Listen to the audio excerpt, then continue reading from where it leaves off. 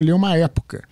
E aí, como se fala muito sobre o período glorioso do Império Romano, Júlio César, também se fala muito sobre aquela época do gladiador, que foi o auge do Império Romano.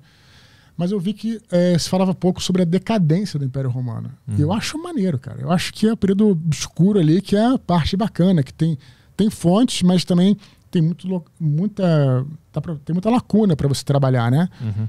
E aí fui olhar ali naquele recorte da decadência do Império Romano e descobri que é, tinha havido uma, uma grande perseguição, né? a última grande perseguição dos cristãos foi 303, foi um episódio basilar da decadência do Império Romano. E falei, opa, então parece, parece interessante. Mistura, tem religião, tem tudo, um monte de coisa junto e tal. E aí fui olhar é, nesses mártires, né? E o mais interessante deles que eu achei foi São Jorge, porque São Jorge ele não só era um militar, o que já distou um pouco da nossa imagem de santo, como também é, é, é, um, é um. Ele não só era um militar, como ele era um, um, um guarda pessoal do imperador. E a gente, como escritor, procura conflito, né? conflitos internos, principalmente. Então você imagina como seria esse cara.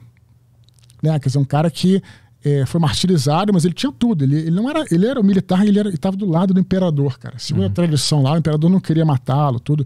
Enfim, mas isso é só no final da história dele, né? Tem toda uma coisa que se desenrola. Então, cara, tem um personagem incrível. Pô, posso falar sobre a história do cristianismo, posso falar sobre várias religiões, posso falar sobre cultura, posso falar sobre. Cara, tá tudo acontecendo naquela época, né? Tinha invasões, as famosas invasões bárbaras, uhum. que hoje se fala mais em migrações bárbaras no norte. Por que, que mudou para é, imigração? Porque uh, havi, houve invasões bárbaras, né? Porradaria mesmo, que aliás é, é uma coisa que eu retrato no, no segundo livro do Santo Guerreiro, né? Que é o Ventos do Norte, teve porradaria, mas a, a, a, penetração é, dos, da, dos povos germânicos, das tribos germânicas, é, pro, é, pro, pro sul, né, no caso, né, ela nem sempre se deu violentamente. Hum. É, é, é, louco você pensar, por exemplo, que é, o, em certo ponto da história, o cristianismo é, entrou nas tribos bárbaras antes de ter entrado, de ter conquistado, claro, ter conquistado muitos romanos.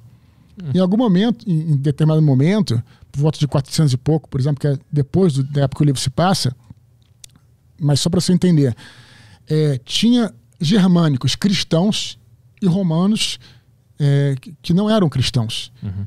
E aí, de repente, tinha mais cristão lá para baixo. Então, é, qual a identidade que você ia escolher? Uhum. Tá entendendo o negócio? Então, houve batalhas violentas, né? Então, você também pode entender como invasões e tal, mas é, muitos deles é, é, é migraram pro, pro, pra, por exemplo, no caso, né, para é, a região da França, por exemplo, né? os francos, que eram um povo germânico, que deu origem à França, né? O Carlos Magno era franco também, era um germânico, blá, blá, blá.